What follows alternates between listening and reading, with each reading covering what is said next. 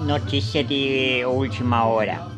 É, segundo o Bolsonaro, o, o jogo Flamengo e São Paulo vai ser anulado em 47 horas. Então, é, você que é, é flamenguista pode comemorar esse, esse, esse, esse jogo ali vai ser anulado. Segundo houve fraudes na, na no jogo ali, através do juiz, não sei o que. É isso aí. E uh, pode ficar tranquilo, tá? São Paulista que dessa vez vocês vão perder de novo. Um abraço para todos os flamenguistas e paulista e o nosso querido crime. É, notícia, é, é, notícia vem aqui do Rio Grande do Sul, tá? Isso.